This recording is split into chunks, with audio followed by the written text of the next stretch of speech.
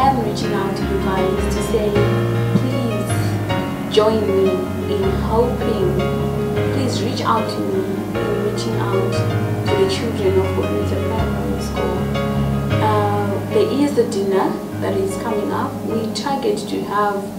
to make at least 7,000 and we have calculated with the needs of the school what's on the ground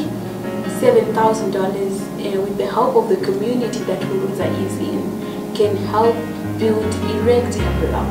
so we need $7,000 and we're trying to make that from the dinner and from some of you we want to thank those who have already joined since the starting of this campaign that have already joined their hands with us there are people who've already donated to us chairs for the teachers of Hurudza because Hurudza does not have enough furniture. We have already received chairs and we have already received donations uh, of, the amount of around $170 and $170 if you look at it, it might seem like simple $170 but that's like 17 bags of cement right there. And I'm reaching out to you guys to say in whatever way that you can, every dollar counts. Because you give a dollar, the next person gives a dollar, the next person gives a dollar and in no time you already have a bag of cement, in no, in no time you already have a thousand bricks,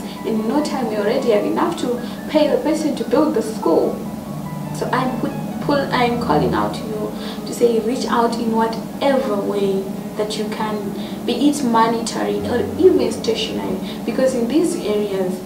children actually can be sent back home to say you don't have something to write uh, to write on, you don't have something to write with. So even a pencil will go a long way in changing that one child at Wolver's life.